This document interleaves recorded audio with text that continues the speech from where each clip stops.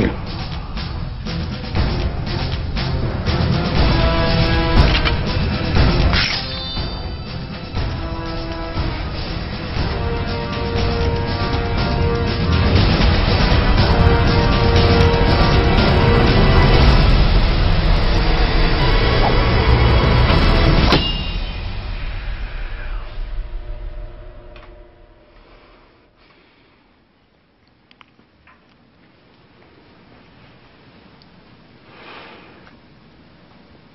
이 검을 기억하느냐? 예. 기억합니다. 대왕 폐하께서 이 나라의 장손으로서 맡은 바 책임과 의무를 다하리라 믿어 의심치 않는다면서 형님께 하사하신 검입니다. 이 검이 가지는 의미는 그뿐만이 아니다. 아옵니다. 안다? 폐하께서 유고시 폐하를 대신하여 고구려의 국정을 이끌라는 의미도 들어 있습니다. 그렇다. 하여 너에게 묻겠다. 너는 나를 어찌 보고 있느냐? 내가 이 검을 지니고 있어도 된다고 보느냐? 내가 이 나라 고구려의 태자가 될 자격이 있다고 생각하느냐?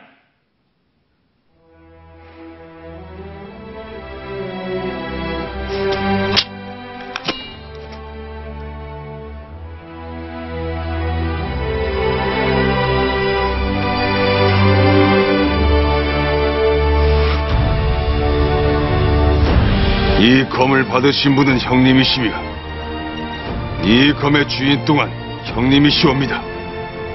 이 검에 티끌만큼의 부족함도 없으시옵니다. 다시 넣어주십시오. 많은 부분에서 나보다 뛰어남을 증명하고 백성들의 신망까지 얻고 있는 네가 있는데도 당치도 않으십니다. 본래 민심이란 작은 것 하나에도 일이 일비하옵니다. 보잘것없는 공적으로 백성들의 시선이 잠시 저에게 머문 것일 뿐 그것으로 제왕의 자리를 운운하시다니요. 정녕 그리 생각하느냐? 제가 어찌 형님께 거짓을 구하겠사옵니까?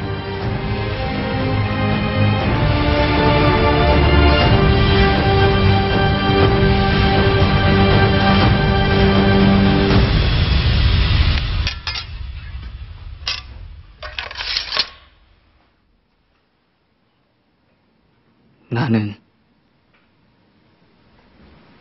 나는 네가 부럽다. 두려워하지 않고 모든 행동으로 부딪혀 해결하는 너의 그 기상이 부러워. 그런 것을 부러워하시다뇨. 모든 것은 폐하와 형님을 보필하기 위한 행동들입니다. 저는 앞으로도 쭉쭉 뻗어나가는 형님의 화살깃이 될 것이옵니다. 하여 형님의 크신 뜻을 가능한 아주 멀리 날아가게 도울 것이니 형님께서는 저를 마음껏 부리시옵소서.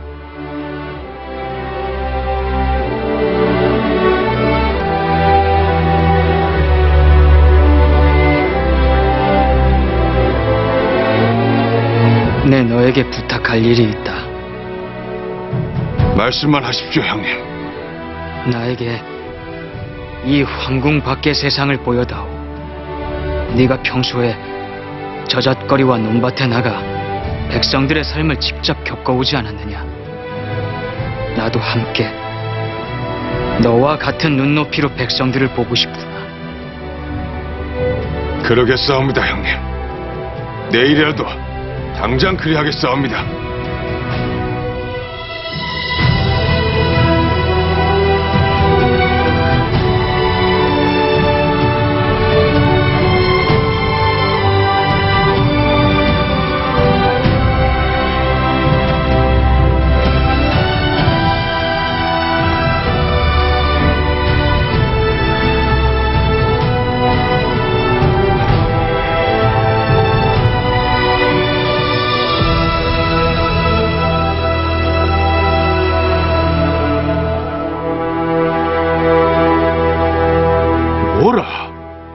담덕과 함께 저작거리에 나가 민생을 살펴보겠다고? 예, 아바마마. 소자, 그간 황궁에서 글공부만 해온지라 백성들의 실생활을 면밀히 알지 못하옵니다. 며칠만이라도 저작거리에 나가 백성들의 삶을 가까이에서 느껴볼 수 있도록 윤호해 주시옵소서. 하오나, 두 분 왕자께서 동시에 황궁을 비우신다는 것이 마음에 걸려옵니다. 소장이 동행해 호의와 안내를 맡겠사옵니다. 있는 그대로의 민심을 살피고자 함이옵니다. 호위는 담덕과 천군 몇 명이면 충분할 것이옵니다.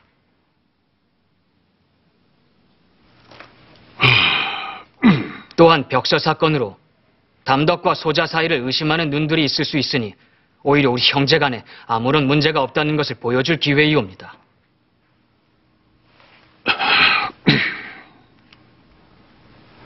대장군, 대장군의 뜻은 어떠십니까? 왕자분들께서 백성들의 생활을 살펴보시겠다는데 어찌 반대를 하겠사옵니까? 동행 중에 형제간의 우위 또한 돈독해질 것이니 오히려 권해드릴 일이옵니다.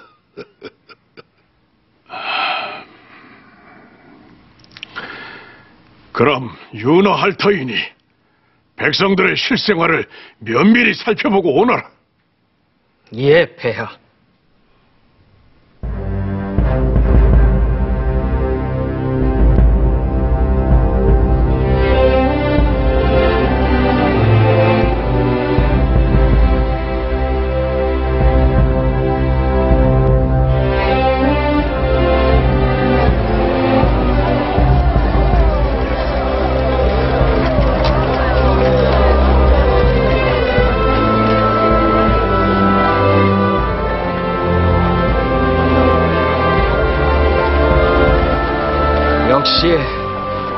시장 안은 활기가 넘치는구나. 아 그러면 입쇼. 아 저는 여기만 오면은 진짜 사람 사는 기분이 듭니다요. 죽은 사람들 마냥 웃지도 않고 왔다 갔다만 하는 황궁 사람과는 많이 다르긴 하지. 죽은 사람이라니 말 조심하게. 왕자마마 앞에세. 그냥 두거라. 듣기 좋은 말만 들으려면 뭐하러 이렇게 옷까지 갈아입고 나왔겠느냐. 내게 꾸미고 숨길 필요 없느니라. 형님 말씀이 맞다. 늘 하던 대로 하거라. 예, 왕자마마. 어허, 왕자라 부르지 말래도. 담덕이 네가 평상시에 일을 돕곤 한다던 대장간이 어디냐? 그곳부터 가보자꾸나. 대장간을요. 철은 나라의 중심이다. 철을 어찌 다루는지 내 손으로 직접 해봐야겠다. 나를 네 수하에 부리는 시종으로 소개해다오. 아니 형님, 네가 왕자로 알려져 있는 곳이 아니냐. 내 신분을 밝히고서야 어찌 저들이 나와 허물없이 어울릴 수 있겠느냐. 예 그럼 따르시죠.